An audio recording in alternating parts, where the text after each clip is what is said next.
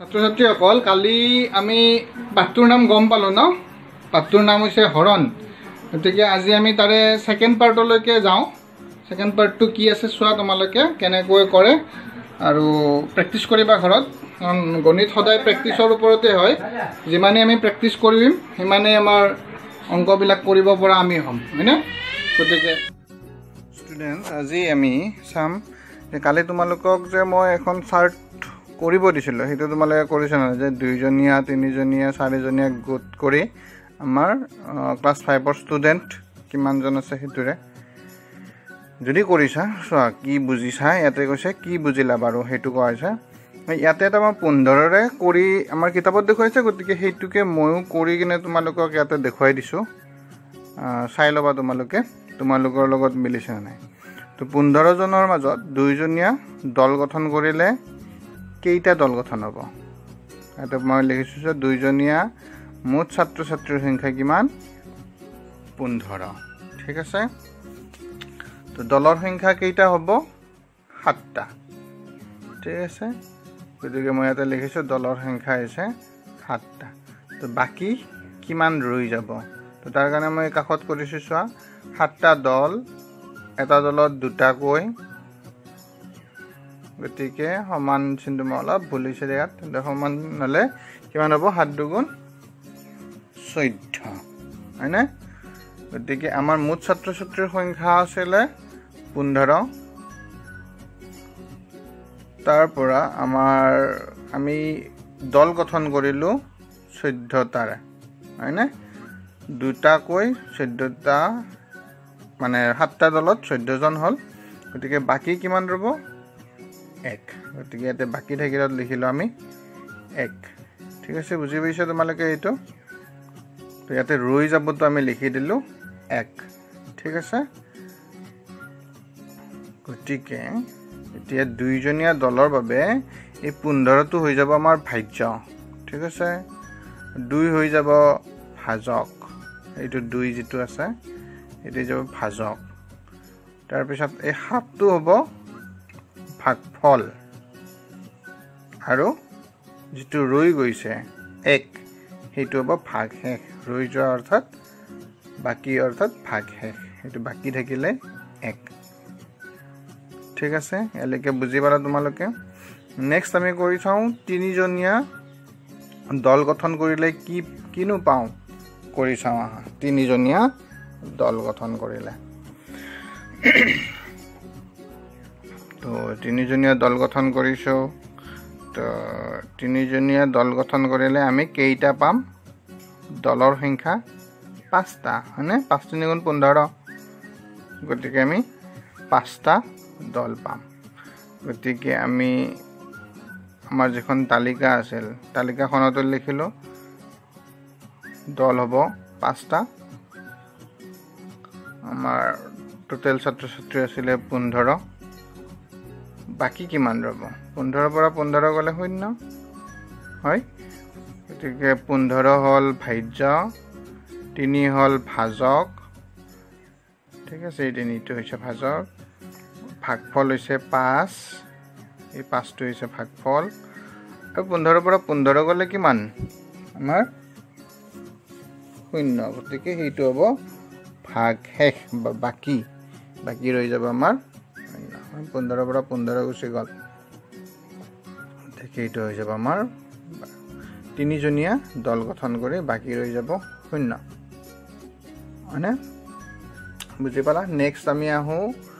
চাৰিজনীয়া দল গঠন কৰিলে আমি কি পাওঁ চাৰিজনীয়া ঠিক আছে? ইয়াতো আমাৰ ষ্টুডেণ্ট একে থাকিব পোন্ধৰজন। পোন্ধৰজন লৈ কিনে আমি কৰি আছোঁ ন? গতিকে ইয়াতে দল হ'ব আমাৰ চাৰিজনীয়া আমি দল গঠন কৰিছোঁ গতিকে দল হ'ব তিনিটা। চাৰি তিনি গুণ আমাৰ কিমান? বাৰ। হয়নি? চাৰি তিনি গুণ যিহেতু বাৰ গতিকে আমাৰ টোটেল মানে ষ্টুডেণ্ট কিমান আছিলে? পোন্ধৰজন হয়নে? তো এই পোন্ধৰজনৰ পৰা আমাৰ যেতিয়া বাৰজন আমি বিয়োগ কৰি দিম তেতিয়া আমি কিমান পাম? তিনি। এই তিনিটো হ'ব আমাৰ ভাগ শেষ। হয়নে? এইখিনিলৈকে পালা বুজি। এই তিনিটো হৈছে ভাগফল আৰু গতিকে আমি ইয়াতে লিখিলোঁ দল আমাৰ গঠন হ'ব কিমান? তিনিটা দল গঠন হ'ব। আৰু বাকী ৰৈ যাব তিনি। এইটো লিখিলোঁ আমি ইয়াতে য'ত আমি মানে বাকী ৰৈ যোৱা। ঠিক আছে এতিয়া চোৱা পোন্ধৰটো হৈছে ভাজ্য এই চাৰিটো হৈছে এই চাৰিটো হৈছে ভাজক। অৰ্থাৎ আমি যিটো দল গঠন কৰিছিলোঁ সেইটো হৈছে ভাজক। আৰু এই তিনিটো হৈছে ভাগফল। এই তিনিটো যিকেইটা আমি দল পালোঁ। মোক দল উলিয়াব দিছিলে অৰ্থাৎ ভাগফল ফল উলিয়াব দিছিলে গতিকে। আৰু লাষ্টত আমাৰ ৰৈ গৈছে এই তিনিটো গতিকে এই তিনিটো হ'ব ভাগ শেষ অৰ্থাৎ বাকী। তো এইখিনিলৈকে তোমালোকে নিশ্চয় বুজি পালা। এতিয়া তোমালোকে মুঠ ছাত্ৰ ছাত্ৰীৰ সংখ্যা সলাই বেলেগ বেলেগকৈ দি তোমালোকে এইটো কৰিব পাৰা। বেলেগ বেলেগ মানে সংখ্যা দি পোন্ধৰত যেনেকৈ দিছোঁ আমি বা আমাৰ ক্লাছৰ ষ্টুডেণ্ট আমাৰ ক্লাছ ফাইভত কিমানজন আছে? তেৰজন। তেৰজনেৰে তোমালোকে নিশ্চয় কৰিছা। তো তেৰজনৰ পিছত আৰু বেলেগ বেলেগ সংখ্যা দিও তোমালোকে এইটো কৰি চাব পাৰা। এইখন তালিকাখন মই অলপ ডাঙৰকৈ দেখাই দিছোঁ তোমালোকক হয়নে? পোন্ধৰজনীয়া ছাত্ৰ ছাত্ৰীৰ তিনিজনীয়া দুইজনীয়া চাৰিজনীয়া দল গঠন কৰি। ঠিক আছে? আজি নেক্সট আমি নেক্সট পেজলৈকে যাওঁ। আৰু তোমালোকে কৰি চাবা আমি নেক্সট পেজলৈকে যাওঁ এতিয়া ঠিক আছে? হেল্ল' ষ্টুডেণ্টছ এইবাৰ আমি নেক্সট আমি আকৌ চাইছোঁ চোৱা কেইটামান হৰণ কৰি চাওঁ। ইয়াতে ছয় প্ৰথমটো দেখাইছে না? কিতাপত নেক্সট পেজত ছয় দুইৰে হৰণ কৰিছে ছয় দুই তিনি গুণ ছয়। ছয়ৰ পৰা ছয় গ'ল থাকিল কিমান আমাৰ শূন্য। তো ইয়াতে আমাৰ যিটো ভাজ্য ভাজ্য কিমান?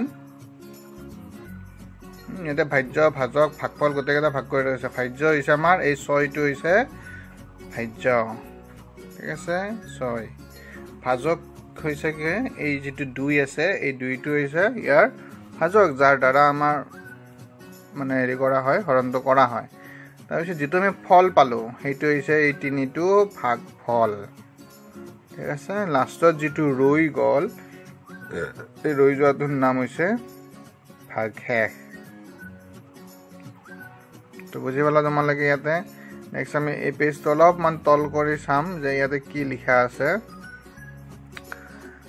মন কৰা চোনত লিখা আছে এক নম্বৰ হৰণটোত মন কৰিব দিছোঁ যে ভাজক পূৰণ ভাগফল যোগ ভাগেক আমাৰ প্ৰমাণ কৰি চোৱাৰ যিটো কথা সেইটো হয়নে নহয় চোৱা? ভাজক কিমান? দুই। ভাগফল কিমান পাইছিলোঁ আমি? তিনি। এইটা পূৰণ কৰি দিয়া। তিনি পাইছিলোঁ ন? দুই তিনি গুণ।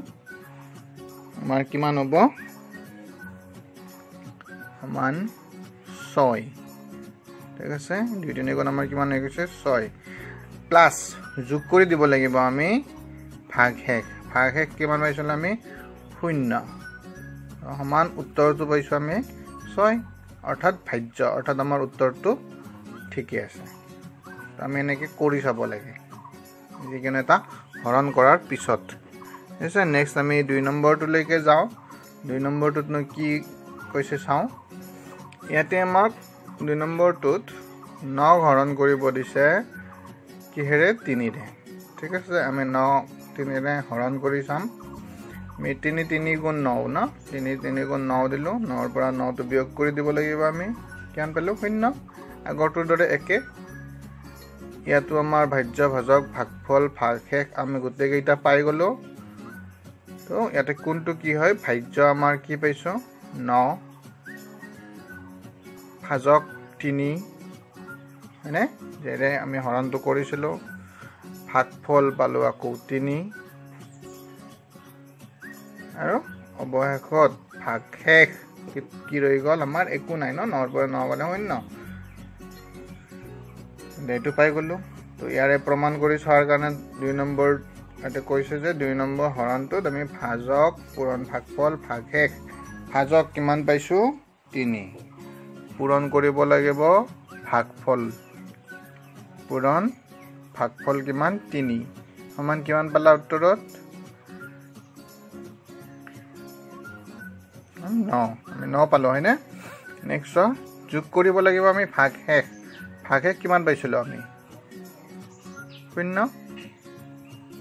গতিকে এই শূন্যটো আমি ইয়াতে বহুৱাব লাগিব। সমান চিন উত্তৰত পালোঁ আমি ন। গতিকে এই নটো হৈছে আমাৰ ভাজ্য তাৰমানে আমাৰ ঠিকে আছে অংকটো কৰাত। এইবাৰ আমি নেক্সট তিনি নম্বৰলৈকে যাওঁ।